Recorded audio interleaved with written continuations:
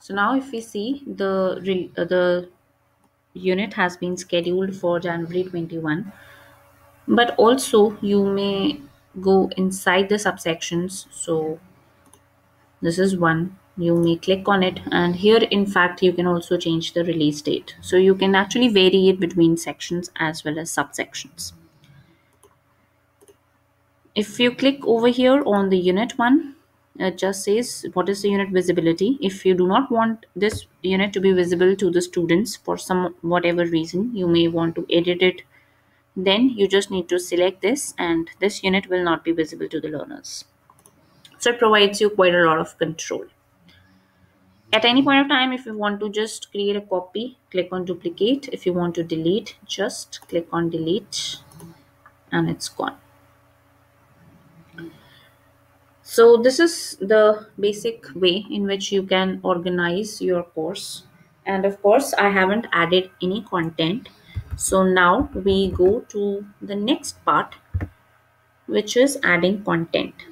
Now of course there is a lot of content i mean content types that you can add. You can have animations videos infographics discussion forum quizzes assignments and there's a lot that you can add but of course this is for the beginning and i will be picking up some basic examples that will at least get you started. And then of course the portal is yours. You can explore it. You can keep adding more and more content. And that will be actually on similar lines. So i'll be just taking some few examples to add text a presentation videos quizzes and finally one other important quadrant which is the discussion forum so let's get back to the course outline and now I want to add some content. So what I'm going to do is I'm going to basically click on a unit. And please remember, whenever you want to add a content, you need to click on a unit. Contents can only be added to a unit. So I go inside this basic definitions and now I want to add something to it. The first thing that I'm going to be showing is how to add some text to it. Now for adding text, the button that you need to click is over here. Now here you can see actually four options or four components that it allows you to add.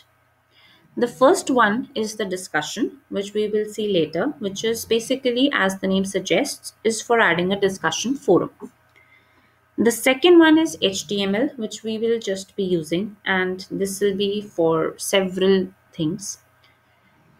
Third one is the problem one, which is when you need to add some questions, quizzes.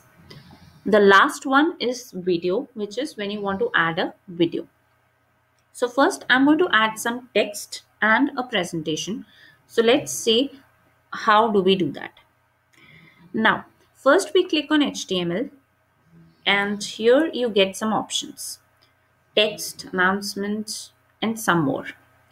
What basic one we're going to cover is the text one. So we click on text.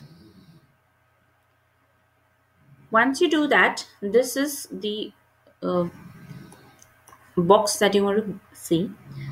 Now what you will be doing is you will be clicking on this edit button. So when you want to write something inside it, just click on edit. Over here, an editor opens up for you and it's basically also going to allow you to add in HTML, but actually no need to go towards that. You can actually write your content here. So the unit talked about basic definitions. So you may start with definition of machine learning and then you can provide the definition here and then some other concepts. So here you can write in whatever textual content you want to add. You also have the controls that you have often seen in editors. You can bold some part. So I select this, I bold it, I can italicize it, I can underline it. And then of course, this will help in alignment, justification, adding bullets, adding, you know, and decreasing indent. So adding hyperlinks, all of that as is available with normal editor.